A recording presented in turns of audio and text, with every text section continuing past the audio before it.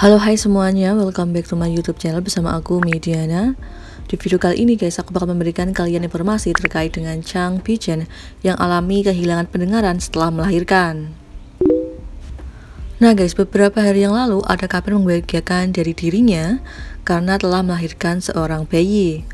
Dan foto-fotonya guys menggendong seorang bayi pun viral di kalangan Cinet namun berhembus rumor bahwa Chang Pichen telah melakukan proses melahirkan melalui ibu pengganti guys yang masih ilegal di Cina. Dan menanggapi rumor itu guys, teman Chang Pichen memberikan bukti sekaligus pernyataan di Weibo-nya guys. Dirinya memposting pernyataan dan juga bukti ke media sosial untuk menyangkal tujuan itu. Dia juga bahkan memberikan beberapa rincian lebih lanjut dan juga foto Chang Pichen di rumah sakit. Temannya itu membagikan foto Chang Bijeng dengan perutnya yang hamil dan juga setelah melahirkan sebagai bukti guys bahwa tidak ada sedikit pun kebohongan dari semua itu. Apalagi temannya itu juga menyayangkan rumor jahat di mana seorang ibu perlu membuktikan bahwa dia melahirkan bayinya sendiri. Ia pun mengatakan, saya menemaninya setiap langkah dari kehamilan dan juga pemeriksaan kehamilan. Dan saya juga ada di sana untuk menyambut malaikat kecil yang hanya berbobot 1,76 kg ketika ia lahir ke dunia pada usia 33 minggu.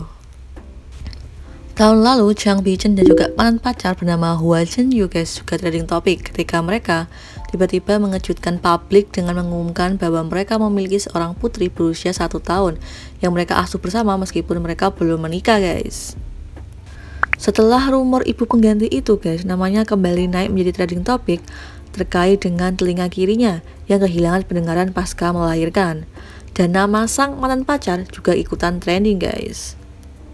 Dan rumor itu pun segera ditepis oleh dirinya guys Dirinya mengatakan bahwa telinganya itu bermasalah karena tidak bisa mengontrol tekanan dengan baik Saat menggunakan pemetik kotoran telinga dan tidak ada hubungannya sama sekali dengan kehamilannya guys dia juga mengatakan bahwa dirinya sekarang baik-baik saja dan berharap semua orang juga baik-baik saja So guys, bagaimanakah pendapat kalian terkait dengan hal ini? Bisa komen di kolom komentar. Sampai sini video aku. Thank you for watching. Bye-bye.